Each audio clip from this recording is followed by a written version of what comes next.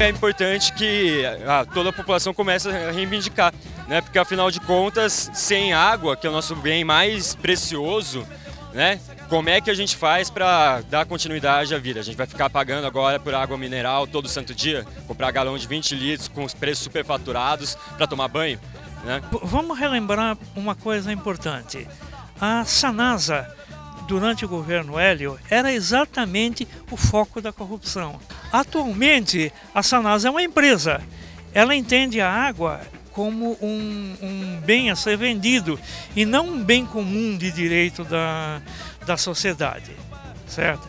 Então, eh, no decorrer de, por exemplo, dos últimos oito anos que estão no, no Condema, o que nós vemos por parte da Sanasa é que sempre não existe problema, que tudo pode ser aprovado, que não há limitação de consumo, etc., até nós chegarmos à situação atual.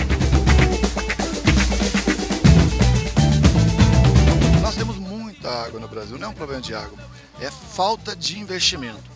O problema é que não houve investimento por essa lógica, a lógica do lucro, a lógica de transferir para a iniciativa privada. Nós precisamos reverter essa lógica perversa Caso contrário, nós vamos passar por situações muito difíceis. Eu trabalho numa empresa química com mais de 2 mil funcionários e muitos colegas meus de trabalho estão reclamando de racionamento de água. Tem colegas que levantam de manhã para trabalhar, já não tem água na torneira. Elas retornam por volta de 3, 4 horas da tarde, não tem água na torneira.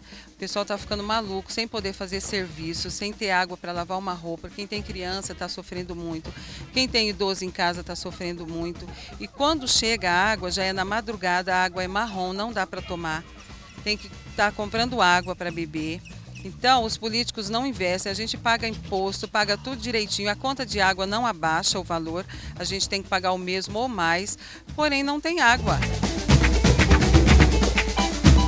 Por isso, inclusive, que a gente diz que o governador do estado, Geraldo Alckmin, cometeu crime de estelionato eleitoral, porque ele anunciou categoricamente que não faltaria água no estado e é justamente isso que está acontecendo já há meses. Tanto em Campinas, tem regiões aqui da RMC que estão desde o ano passado sem água. A outra questão é o uso da água é, da indústria.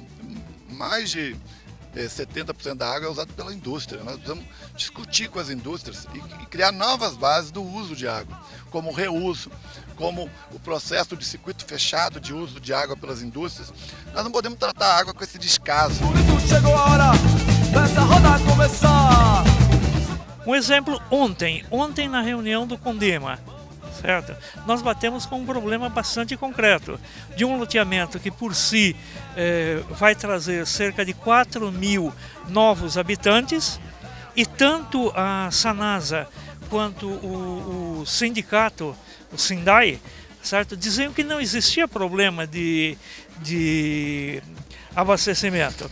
Quando nós checamos e exigimos que eles dissessem da onde viria a água, eles disseram que a água viria do Atibaia.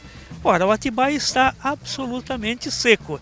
Então, esse é só um exemplo certo? Do que o governo e do que os setores eh, interessados na, na crise estão fazendo, escondendo a, a realidade da população.